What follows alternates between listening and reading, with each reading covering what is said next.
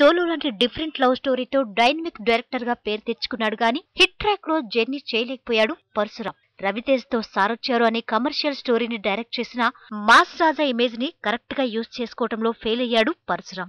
ఈ ఫ్లాప్తో రెండేళ్ళుగా ఖాళీగా ఉంటున్నాడు ఈ డైరెక్టర్. అయితే ఇన్నాళ్ళకు మెగా హీరోని డైరెక్ట్ చేసే ఛాన్స్ కొట్టేశాడు. అల్లు సిరీస్ని డైరెక్ట్ చేయడానికి రెడీ అవుతున్నాడు పరశురాం. మెగా బ్యాక్గ్రౌండ్తో ఇండస్ట్రీకి ఎంటర్ అయ్యాడు గాని ఆ రేంజ్లో యాక్ట్ చేయలేక కెరీర్ని స్లోగా నెట్టుకొస్తున్నాడు అల్లు శిరీష్. ఫస్ట్ సినిమా గౌరవంతో మెగా ఫ్యాన్స్ కూడా చిరాకు తెప్పించి ఆ తర్వాత కొత్త జంటతో పర్వాలేదనిపించాడు. ఇక ఈ సినిమా తర్వాత ఓ పది నెలలు ఖాళీగా ఉండి ఇప్పుడు పరశురామ్ డైరెక్షన్లో సినిమా చేయడానికి కమిట్ అయ్యాడు. మరి ట్రాక్ రికార్డ్ సరిగా లేని డైరెక్టర్తో బీభత్సమైన రికార్డున్న సిరీస్ చేయబోయే సినిమా ఎలా ఉంటుందో చూడాలి.